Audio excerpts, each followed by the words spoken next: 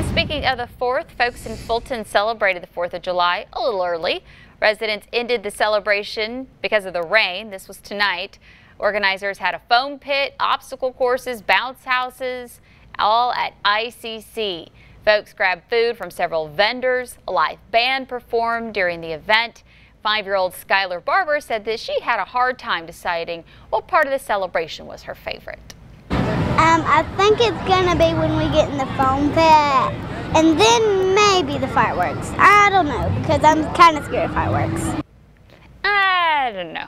I used to be scared of them too. You'll be fine, Skylar, I promise. The fireworks started around 7.30 tonight instead of 9 because of the weather.